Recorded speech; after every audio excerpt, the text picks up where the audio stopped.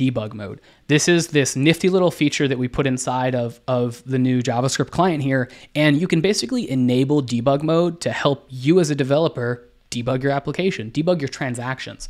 So you can enable it in three different ways by setting the gill underscore debug environment variable. So if you have, you know, you're using a serverless function or Vercel or, you know, AWS, GCP, whatever, you can set this uh, environment variable directly through your CI CD and things like that. So if you have like your preview environment, you can enable de debug mode within that preview staging environment. You can also set the global value or in window uh, using the window object. So in your browser's console. So if you have a front end application that's deployed, you're testing the actual application. Even if you're testing it on localhost, you or any of your users, so if you have an advanced user, they can enable debug mode within their console. So that way they can get some of this information because it's all public blockchain information anyway. And this can really, really help debugging applications on the front end.